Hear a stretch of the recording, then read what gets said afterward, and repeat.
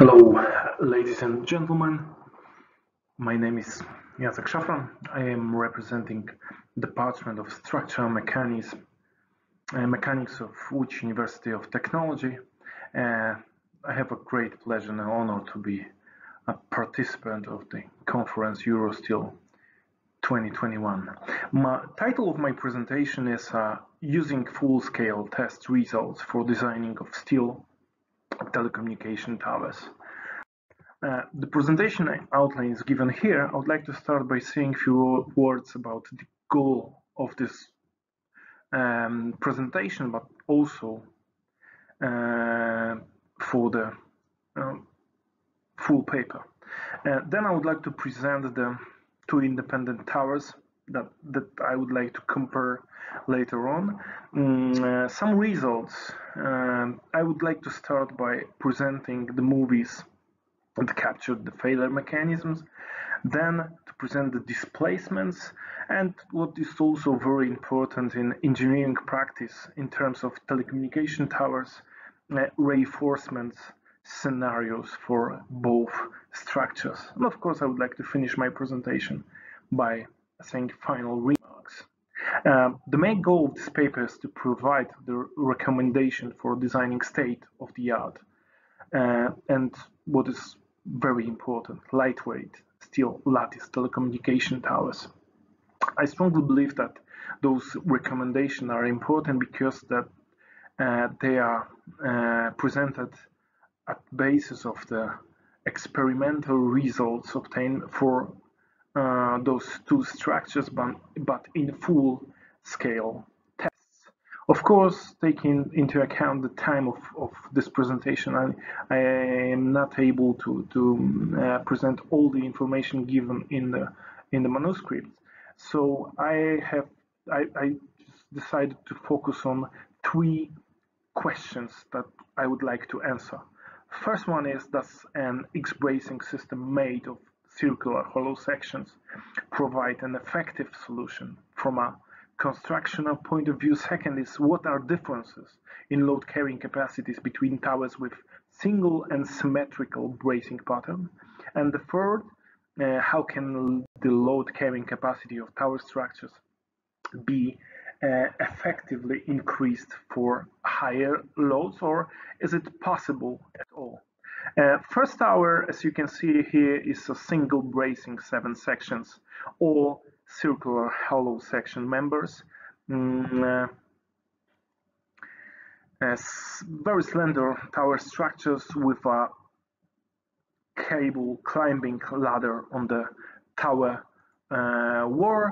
Um, joint between bracing and legs are one bolt joint. Mm, the tower before the test you can observe here and also um, um, I'm presenting the mechanical properties for uh, obtained from, from the tension simple tension test. And it's worth to mention here that the nominal grade of steel was S355 for tower number one tower number uh, two uh, also uh, seven sections also all circular hollow sections members but the main difference is that the, the distance between the legs are are larger and also the, the, the, the bracing system is X symmetrical uh, type. What is important also um, the cable and the climbing ladder is placed at one leg and also the, the, the pictures presenting the, the, joints and the tower itself before the test. Also the mechanical properties taken from the tension test. And I have to tell that the steel here nominally was uh, S235 let me present the first results. Is uh, um, a failure mechanism for a, uh, tower number one. As you can see, the single bracing, and of course there is a lot of different details about about the experiment itself, but um, it's impossible to to describe them all here. But the failure mechanism, as you can see uh, in this type of tower, as uh, the, the, the, failure of uh, bracing and of course the, the place of external load and the, the, application of that is also important but we can observe that the failure first the weakest link here is uh, uh, our bracings. Uh, second tower.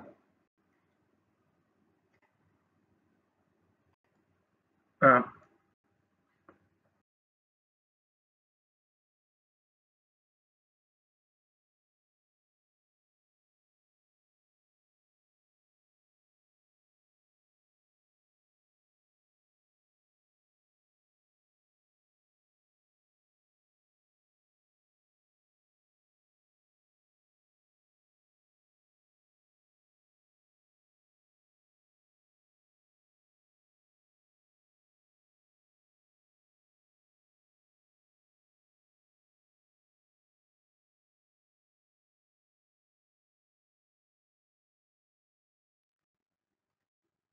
second tower uh, is presenting here and you can see that the X symmetrical bracing, symmetrical connected with uh, the legs and the climbing, cable climbing ladder on one of the, of the legs.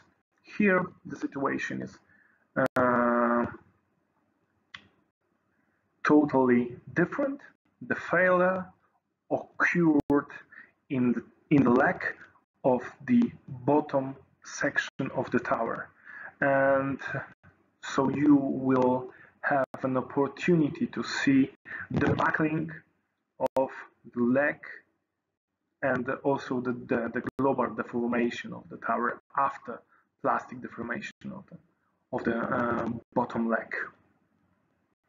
And the movies here are very important because we can observe and find, which is crucial, what was the weakest link. Here we can see that the first, uh, that failure is leg and then bracing members.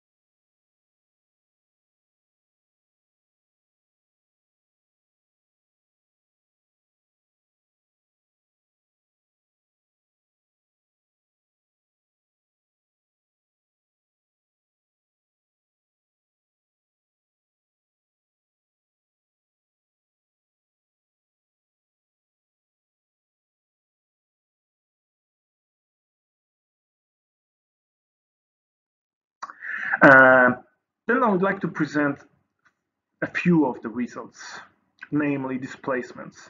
Uh, displacements here are um, given for uh, joints of the um, of the top of the tower number one and number two. Here on this diagram, they are called A1 and A2. Uh, so I have decided to present just two um, planes of, of, of those displacements. First one is longitudinal to the um, external load uh, for uh, axis X. And we can see that the differences between those uh, two towers are quite large. Um, for example, for an external load equal to 60 kilonewtons, the displacement for uh, for tower number one was a little bit more than 90 centimeter, centimeters. Uh, 94 centimeters obtained for uh, tower number two was for uh, external load equal to 110. This um, next um, mm, graph here uh, symbolizes the differences between uh, the diagonal um, bracing patterns. The plane here is perpendicular to the uh, direction of the external load. And we can see that the second tower, there are zeros up to up to the um, force equal to 50 kilonewtons.